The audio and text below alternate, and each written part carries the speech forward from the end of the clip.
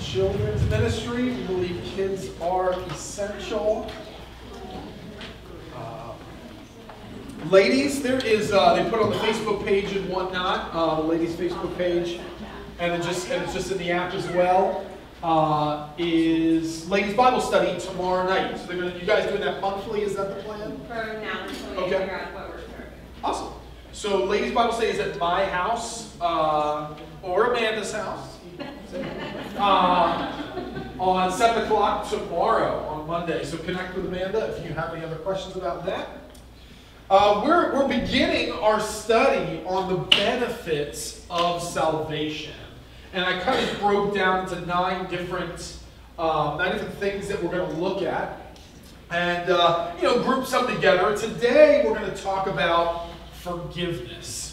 Forgiveness, and certainly forgiveness. Uh, there's a lot that goes into that, and all these things that we talk about in regards to the benefits of salvation. There's a lot that goes into it. So not only maybe our first thoughts is okay, if we're forgiven, it means we don't have to face the penalty that we deserve to pay. So if we are forgiven our wrongs, or forgiven our sins, forgiven our debt, we no longer have to take on the consequence. But there's also a change of identity that comes with forgiveness. All right, They're, you're viewed differently. You know, when you are forgiven for something wrong you've done, you're viewed differently by the person that has forgiven you. Just the, the you'll see kind of the running example. Uh, the running example I kind of will use is like the idea of a stain. Uh, it's the illustration that God uses in, uh, in Isaiah that we'll look at. So the idea of we have a stain, all right, on a brand new shirt. You know, you get an expensive one. It says like Supreme on the front of it. costs like thirty-eight dollars. You know, uh, and, so th- this is, or no, I always love when like you go and you get like a like it's just like a white shirt or a gray shirt. There's nothing on it, but it's like Nike. You know, you know, fifty-eight dollar T-shirt. You know, like hanging up on like a nice thick, you know, thick uh, hanger. You're like, man, that's, that's an expensive undershirt. Um, and you get it, of course, right when you buy something like a little, a little bit more expensive than you know you should have, you knew it was a little bit of a splurge, you weren't being a good steward uh, of that money, uh, you know you're staying at that. Like, very first opportunity, it's going to be like whatever you were eating drips on it. Uh, Amanda's the ultimate, just like immediately, she buys immediate stain, immediate stain. And it's always some kind of oil, oil based something. You know, so it's like, you know, even when you clean it up, you can still see the stain on it. And when it comes to stains, it actually doesn't matter if it's a, a, a small stain, like, oh, it's really, you know, it's only a half inch long, or a giant stain. A stain's a stain, like right when you see the stain, like you see it everywhere you go, it like follows you everywhere in the room. It doesn't matter if the stain is small or if the stain is giant. A stain is a stain. All right, and the shirt becomes worthless. All right, it can only be discarded and burned with the other trash. All right, unless the stain can be cleaned. Unless the stain is cleaned, the shirt is now valuable again. It can go back in the repertoire. Now, I wanted to use that word repertoire, but when I wrote it in, I, I wasn't even close enough in spelling to right click it and have the correct spelling showed up. Like, I tried three different times to spell repertoire, and I couldn't even get my right click to actually give me the correct spelling. So I know what word is here, but I'm embarrassed to show you how it's spelled. So it's now of use again. It can go back in the cycle. Right, you can now use the shirt again when the stain is removed. But what you know, what is always going to be amazing about us, and the reason why we we have infomercials on cleaning products is, you know, it's the cleaning product that gets the attention. It's what gets the recognition. There's still OxiClean commercials. You know, now we have all that cool like hydrophobic like sprays and like nothing will stick to this.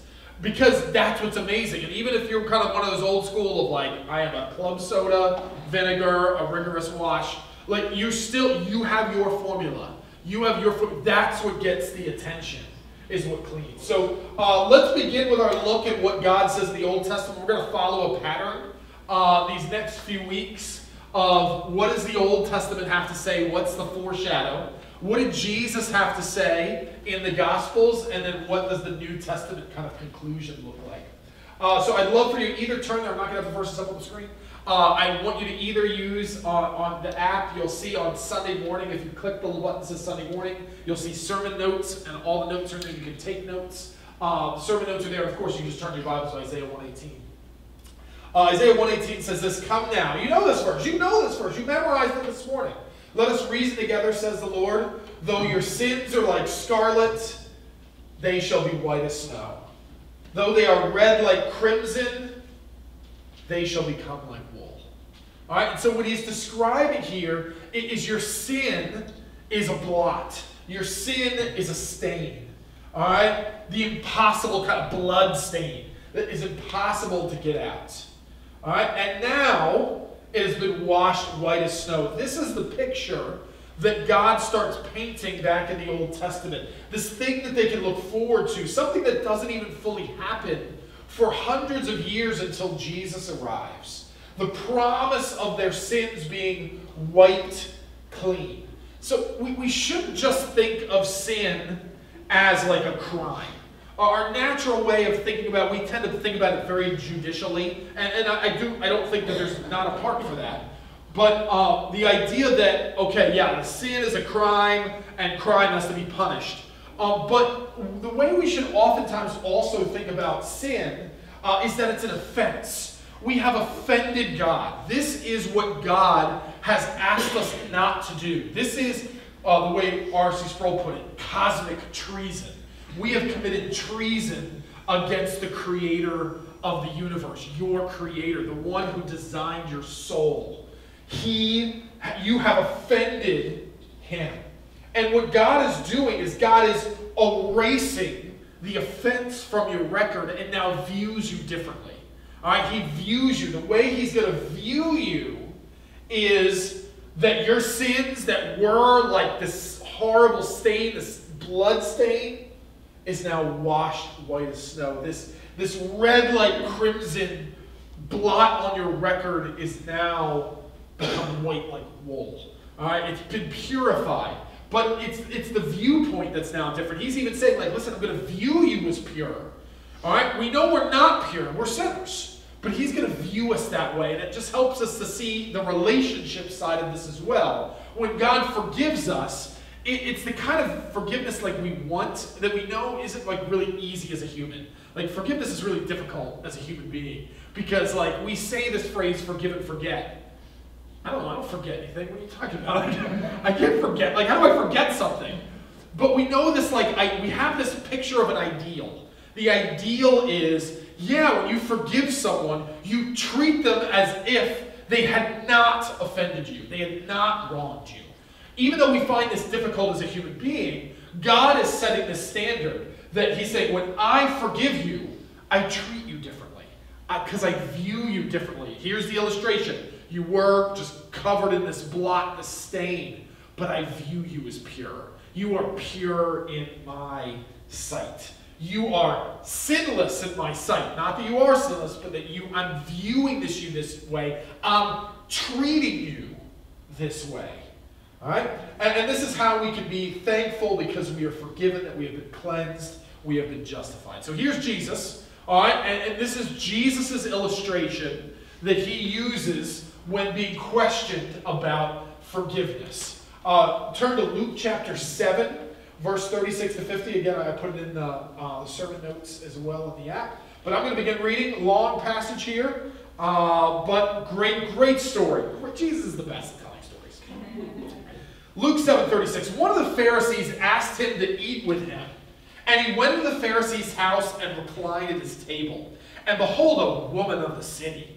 Uh, you know what that is. You know what that means, right? A woman of the city, one of those little walker street walkers.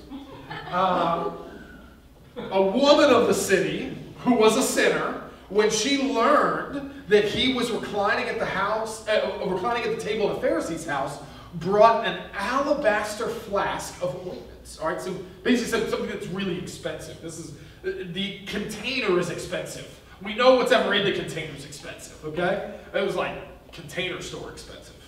Um, and standing behind him at his feet, weeping, she began to wet his feet with her tears and wiped them with the hair of her head and kissed his feet and anointed them with ointment. Now, many have attributed this to be Mary Magdalene. We don't know. There are several stories of prostitutes in Scripture that people are immediate to say, Ooh, is that Mary Magdalene? The answer is maybe. We don't know enough information. We can't objectively say that. He does mention something that sounds like this is maybe her, but we don't know for sure, but possibly. Uh, began to, you know, wet her tears or using them to wipe with her hair, his feet. I mean, this is just very humbling. Very humbling. Uh, verse 39. Now, when the Pharisee who invited him saw this, he said to himself, If this man were a prophet, he would have known who and what sort of woman this is who is touching him, for she is a sinner.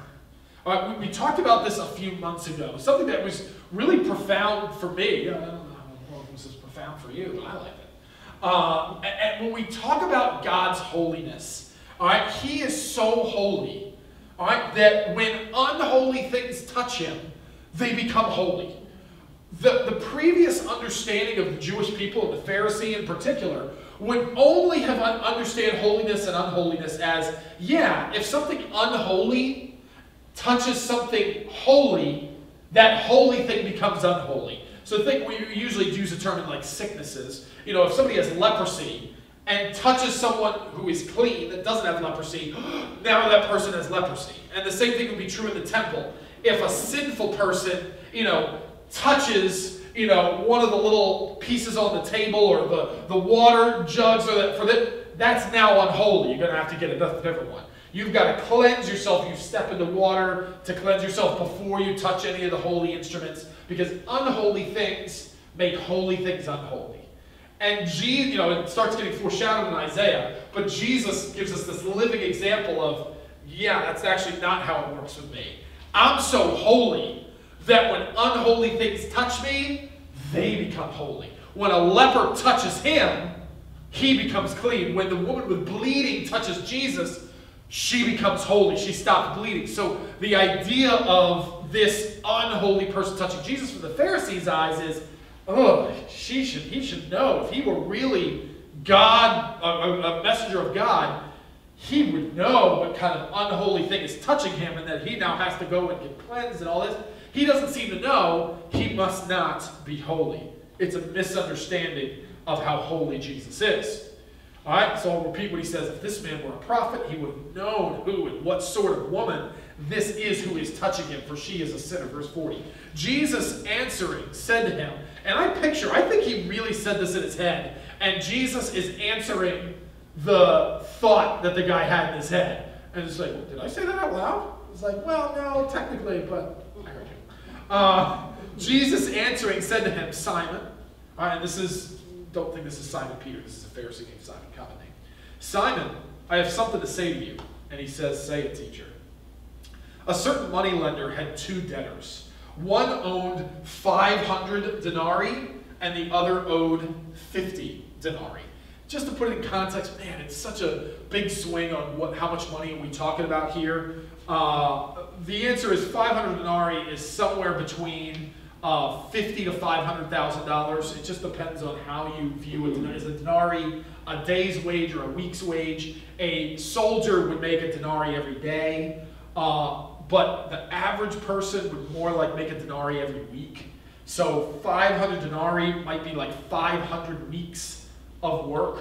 All right, so maybe 10 years worth of work for a soldier. It would be like over a year's worth of work about a year and a half worth. So it, it's a lot of money. 50 denarii, that's not nothing. All right, so that's maybe like a month, somewhere between a month and a year's worth of work, so that's somewhere between five and fifty thousand dollars. Uh, just get obviously you can see the scale. The person that owes 500, that's a huge sum of money. 500 denarii is a huge sum of money. 50, it is a lot of money. Not crazy amount. That would be like normal student debt is the 50 denarii. 500 is like, what? Why would you go to Harvard if you didn't have a scholarship kind of money? Um, Simon, um, all right, so one owed five, 50 denarii, one owed 500. When they could not pay, he canceled debts of both. Now here comes the question. Now, which of them will love him more? So someone owes 500 denarii, huge someone, someone was 50 denarii, 50 denarii, a lot of money. But he answers, when the money lender forgives both debts, who is more thankful? Who loves the money lender more? Who's more jubilant? Who's more excited? Verse 43 Simon answered, The one I suppose for whom he canceled the larger debt. And he said to him, You've judged rightly. Yeah, common sense. That makes sense, right? You've judged rightly. Then turning to the woman, he said to Simon, Do you see this woman? I entered your house. You gave me no water for my feet, but she has wet my feet with her tears and wiped them with her hair. You gave me no kiss. All right, it's probably showing that this Pharisee is open, he's willing to listen to Jesus, but he's not going overboard to treat Jesus like he's a special guest. He kind of views, he's a Pharisee, like welcoming this traveling itinerant rabbi into his house. That's the nice move. He isn't treating Jesus like he would if the high priest or a Roman official was showing up at his house. That guy would get the red carpet. So Jesus is saying, You didn't roll out the red carpet for me. I'm not offended, but you didn't roll out the red carpet. You didn't kiss me. You didn't want the world to see that we're friends, right? You didn't want to. You didn't want to stop and be like, "Look who came to my house." All right, you kind of just welcomed me in. All right, she wiped her feet with tears and wiped them with my hair. You gave me no kiss, but from the time I came in, she has not ceased to kiss my feet. You did not anoint my head with oil, but she has anointed. Um, she has anointed my feet with ointment. Therefore, I tell you, her sins, which are many, are forgiven, for she has loved much. But he who is forgiven loves little. And he said to her, Your sins are forgiven. Then those who were at the table with him began to say amongst themselves, Who is this? Who even forgives sins? And he said to the woman, Your faith has saved you. Go in peace. The cleansed is amazed by how dirty they see themselves. Your thankfulness, your, your response to the person who cleaned you is, is only going to be, you're only going to be as amazed as recognizing how dirty something is. You know, when you, when you, if you got some kind of stain on your shirt and was like, oh man, that's impossible to get out. and your mom with just a little bit of spit on her thumb gets it out. And it's like, your mom's spit. All right, like you're amazed because you're like, I didn't think that was possible. If it's something that you're like, oh no, that's easy to get out, no big deal. And when it cleans out, okay, yeah, no big deal. I, I mean, I've done that a million times. That's really easy to get out. It's it's a washable armor. It's no big deal. Uh, the Pharisee viewed his sins, which probably in the scheme of humanity, like when you compare, if you were to put a row of human beings, sure, this this Pharisee's probably not a crazy, horrible sinner. We're not going to treat him like he's the most hypocritical person on the planet. He's probably a generally good, nice person. All right? Generally, we didn't murder anybody. He's been pretty obedient to the law. You know, his sins, like if we're stacking them up in comparison to other people, probably has a small stack. It's probably a small stain. All right? If we're going to do it in comparison. Here's this woman, huge stack of sins, you know, very obvious stains. And here, the, the problem between these two people is she recognized herself as a sinner and that she needed forgiveness. And she is begging and pleading and crying and doing everything she knows to do to just ask for Jesus' forgiveness, and he grants it. And here's this guy who doesn't ask for forgiveness, doesn't think he needs it. He doesn't think he needs it. This is the problem that we face today when we're sharing the gospel with people, there's going to be people that recognize they need forgiveness. And they're going to be blown away that God's word is crystal clear that Jesus will forgive them no matter what. No matter what they have done, he will forgive you. The greater sinner is going to be more jubilant all right, than the person that's like, oh, I mean, yeah, I guess I probably could use some forgiveness. Yeah, I'll take a little bit of forgiveness, I guess. If they don't recognize their sin, that's the problem. So the Pharisees in particular didn't recognize their sins. I think it's a problem of a lot of Americans. I think a lot of friends you have don't recognize their sin. They don't see their sin as cosmic treason. They don't see their sin as worthy of hell. Right? And if they look at the little, you know, I'm sure I've lied sometimes, I'm sure I've, you know, you know, have taken God as number one. And there's been like some, you know, light, you know, light adultery. And there has been some, you know, and, and they just kind of go through this list. And if you were to like look at the Ten Commandments, it's something that like uh, uh, the Living Waters people, Ray Comfort, different people like that, Kirk Cameron do. I like it. Uh, that they like go through the list of Ten Commandments and are like, okay, so God is number one for life. You've taken the Lord's name in vain. You've um, looked at a woman with lust, you committed adultery. You've hated someone in your heart, you committed murder. Uh, you've stolen something. So like, okay, you're a lying, thieving, murderous adulterer, and you're going to stand before God and say, I'm a pretty good person. Like you've literally broken every Ten Commandments. You've broken them all. That's just the first ten. He's got a lot more things to say after that. He just kind of gave some highlight reel stuff to make sure you would recognize that you are a sinner in need of a Savior. The cleaner, when it comes to Jesus, you know, whether, whether we're looking at Jesus, whether we're looking at OxiClean, all right, it shouldn't matter the size of the stain. If, if OxiClean can clean something this big, it can clean something this big.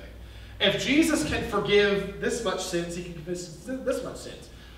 The cleaner, the person who is doing the cleaning, the person doing the purifying, it doesn't actually matter how big the stain is. It doesn't matter how much the debt is. Right? It doesn't matter, you know, how bad the sin is.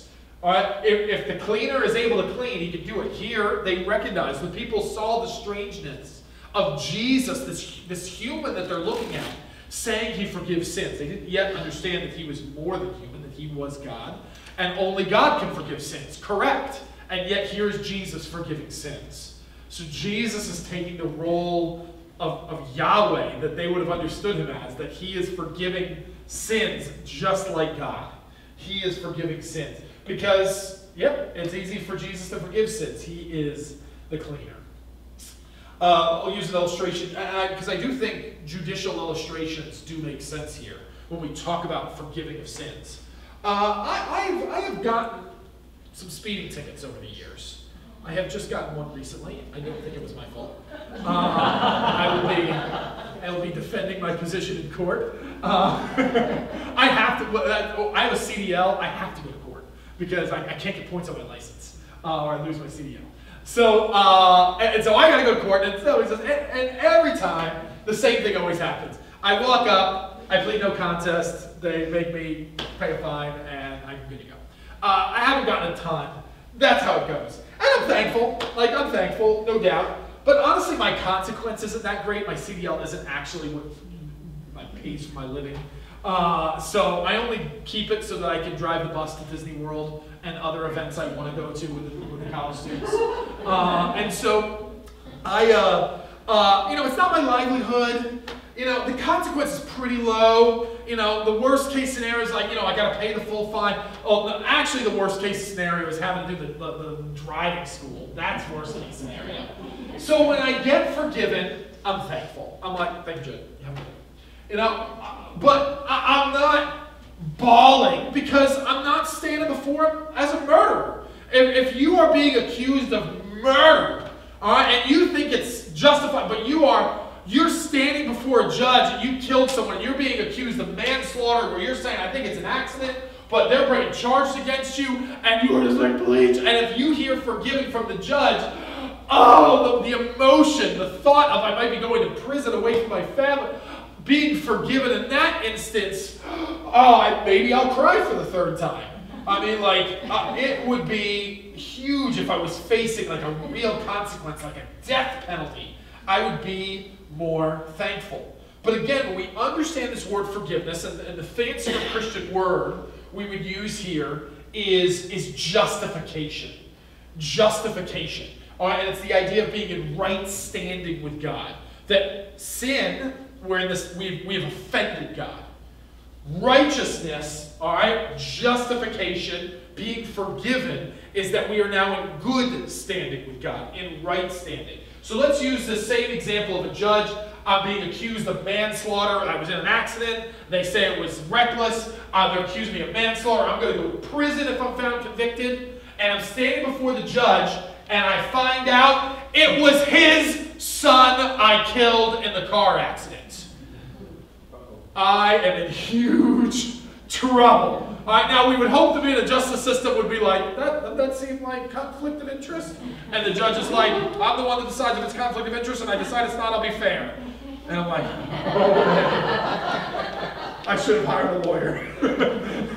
Pay your lawyer. Uh, and I'm standing before this judge whose son I killed. I have offended him. This is not just him judging the law to see did I hit a certain standard of the law. There's something I have done to offend him. I, you know, now all of a sudden they're throwing around the word hate crime. They think I've committed a hate crime against his son. I have offended God. I, when we sin, whatever we even want to call a small sin, which is just usually our own way of justifying our behavior, God calls sin sin. Certainly when we compare sins to other human beings, there's greater sins, worse sins. But when we compare it to God, who is perfect, who is holy, sin is sin. Sin has offended God. Sin is demanding of punishment. Now, the only time we use this word justification, I tend to think it's like in Microsoft Word. So we're right now in the category of sin, but when we are right justified, when we are, when he clicks right, our name is now moved to this other column. So here's Joe's name, and it's manslaughter and hate crime and lots of speeding tickets. And you know, here's this. Uh, uh just make sure you know, like I didn't get an like my ticket was uh, for going 32 in a, a, a, school zone, which I didn't think the school zone was actually being enacted at that time. Doesn't matter. No children. No children. No children no children. This is not a fake school zone. It's a fake zone. Um, so here's Joe, all his crime. All right? But with God, every thought I've ever thought is on that list. All right? Uh, at least the bad ones. All right? All the, you know, all the things I've done wrong, all on this list. And now what he does in justification is he's saying, I'm going to take your name, highlight it, right justify and he puts me in this list over here, which only Jesus is listed. It's listed as you know, the Son of God, righteous, good. And all of a sudden, like all these characteristics when my name is brought up, if he forgives me, if he justifies me, I am, the list of my crimes are, you know, his son and righteous and good and perfect. He is seeing his son's record when he sees me. He is seeing his, his son when he sees me. Now, a lot of times people use the word justification to, you've maybe heard this little expression, just as if I've ever sinned. Like justification is just as if I've never sinned. I don't like love that. I don't hate it, but I don't love it. Um, because I, I think a clear view of ourselves as a sinner, I think understanding that I am a sinner that has been saved by grace and forgiven is probably a better way of understanding myself. I, I know that the way God views me is his son. He views me as perfect. He views me as sinless. And yet I want my actions to reflect my new nature. And so I, I want to recognize that, like, man, I am evil and desperately wicked if I continue, if I'm just doing my natural stuff. I have to choose to follow God and follow Him if I have any desire to actually do what is good, which is now available to me. So forgiveness is complete forgiveness. It forgives all future debt as well. When He forgives us, we think about this judge who has forgiven. His, his gavel goes down, you are forgiven. Innocent. That innocent that God, the judge, is declaring on us is not just innocence up to that point. Like if you go before a judge and you get declared innocent, we probably see happen a lot in our in our justice system is someone is declared innocent and they go out and do that exact crime again. They're like, oh, I guess they did do that. They just do it again. Uh, in God's declaration of innocence, He's not just declaring you from your actions to the past to the present. When God forgives you, He is forgiving your sins from the past to the present and your sins from the present to the future. Because God has a view that this, you know, this judge here doesn't have. The view that he has is an eternal view. And he can see your entire life. You know, conception to death. He sees your entire existence. And when he forgives you, as when you trust Jesus as your Savior and he promises to justify you or forgive you, when he forgives you, he is forgiving everything you've done, including the things you haven't done yet or even imagined doing yet. You know, 16 years from now, when you're going to do something really bad, God knew you were going to do that and forgave you anyway. When He saved you, He saved you with your future sins in mind. He saved you anyway. He forgave your future sins. There's um, uh, this so this gets us to like, okay, what does this now mean for me? What what does that then mean? There's a, a movie I actually haven't seen, which is really weird to say. I feel like any movie I ever bring up is, of course, I've seen this movie. I've never actually seen this movie. Uh, it's a movie called Love Story, came out years ago. And there's a line in here you know. There is a line from this movie you've heard. And the line is, love means never having to say you're sorry. You heard that line before? Love means never having to say you're sorry. What? It's not true. That's a terrible, terrible expression. There's no way that expression, like, there is no scenario in which that expression is true. That love is never having to say you're sorry. As someone that does a lot of, you know, marriage counseling stuff, that is a terrible, terrible line. Uh, it's definitely not a biblical one. And so knowing Jesus forgave you completely, if anyone could say that line, we could say that, okay, it doesn't work with human relationships, but does that line work with our relationship with God? Does our line, if God forgave us, including future sins, and He knew I was going to commit this sin on Tuesday, do I even need to say I'm sorry? Like, do I even need to ask for forgiveness of that one? He knew I was going to do it, right? Like, He knew what He saved me. Do I even, like, you know, is God saying, like, you know, my, you know, complete and ultimate justification means never having to say you're sorry? The answer is no. The answer is no. He says, yeah, you better say you're sorry. All right? New Testament example, 1 John chapter 1, verses 5 to 10. I'd love for you to turn there. Uh, also there yeah, 1 John 1, 5 to 10. Now, there is some arguments that scholars have on this verse.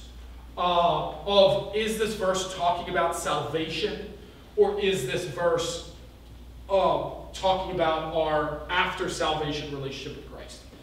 I am really strong that it is the latter, that this is talking about someone who is saved. I think everything, the first, the first couple verses leading up to that, everything is screaming this is a saved person and telling a saved person what they should do is what I believe. Now, again, there is some discrepancy, and I apologize. I, I usually like when I say controversial things, I usually like to talk with Pastor Al to see does he agree with me or does he not want to show up this Sunday?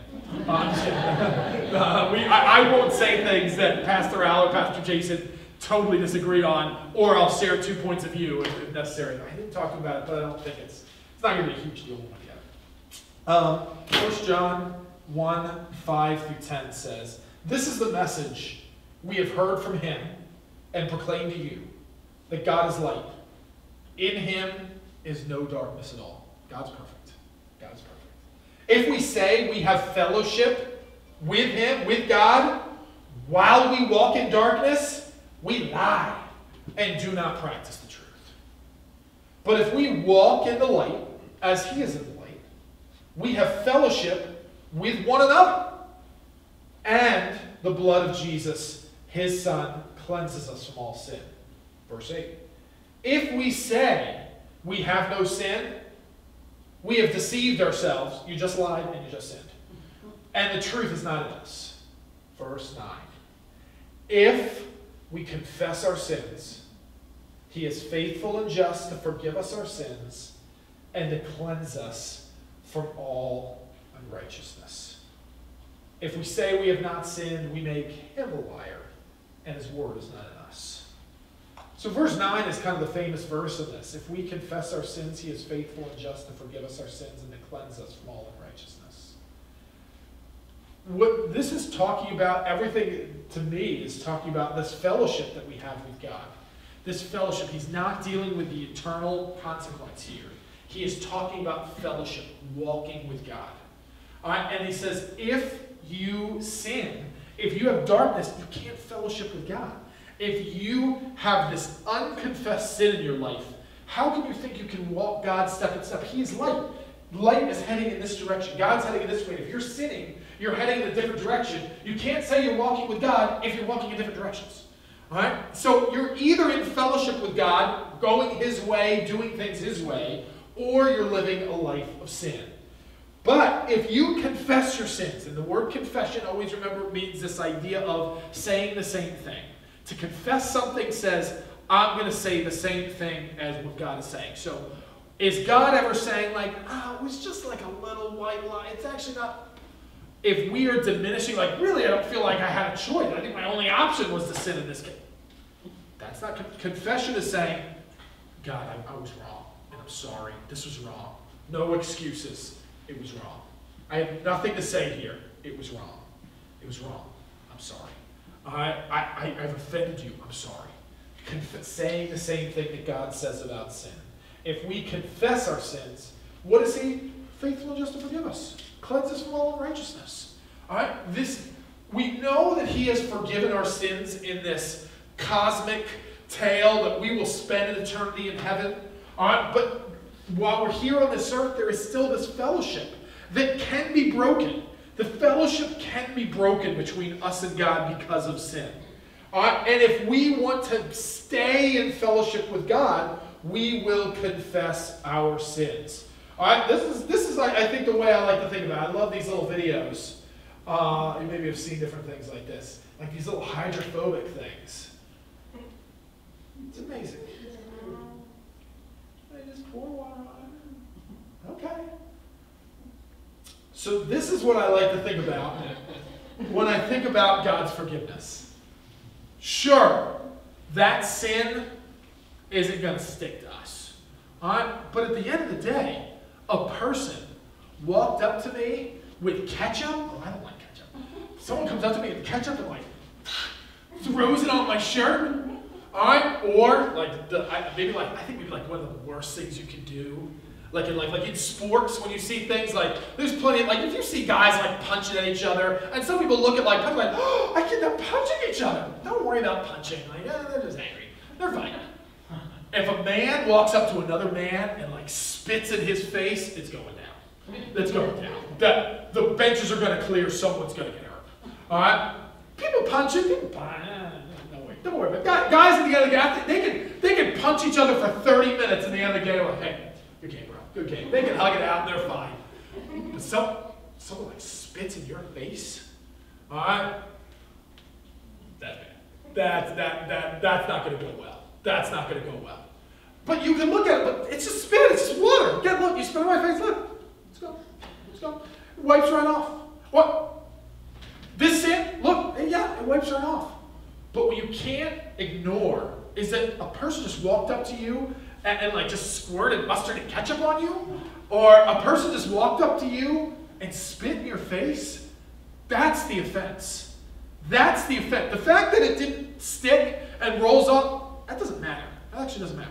When it comes to God, when we, if we have truly trusted Jesus as our Savior, and He has forgiven us, there is no doubt. The sin is not going to stick. The sin is not going to stick. But there's the offense we just spit in the face of God.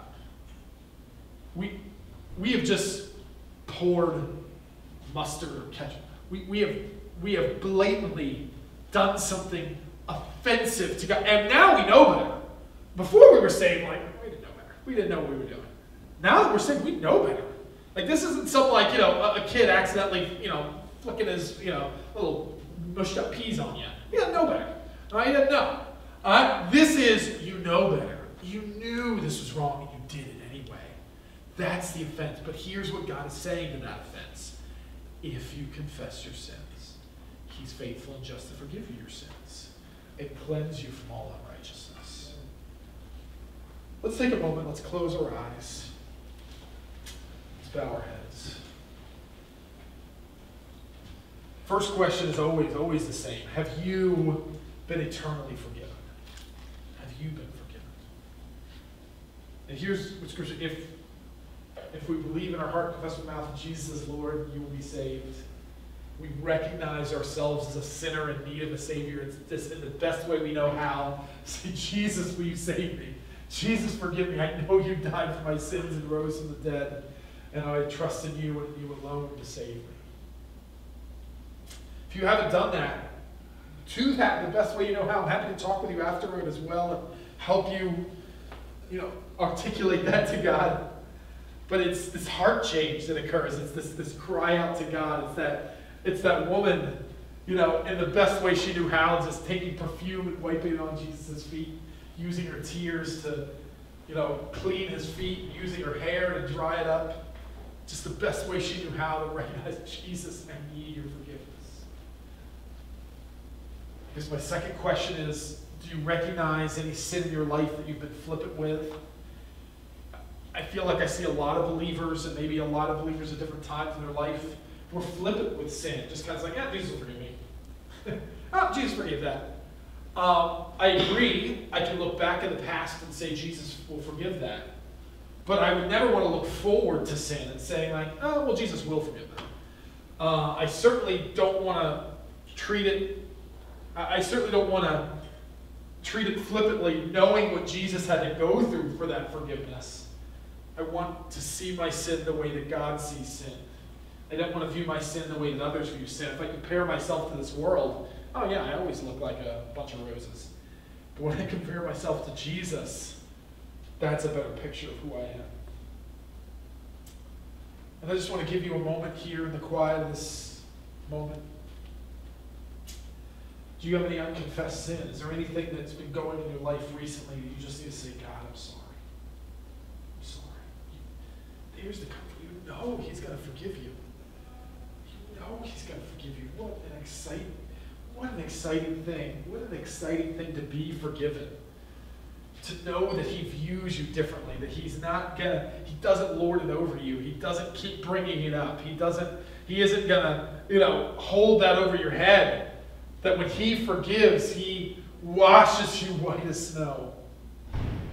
He cleanses you completely. He purifies you totally. So we just give you a moment. God, reveal anything in us that needs to be confessed.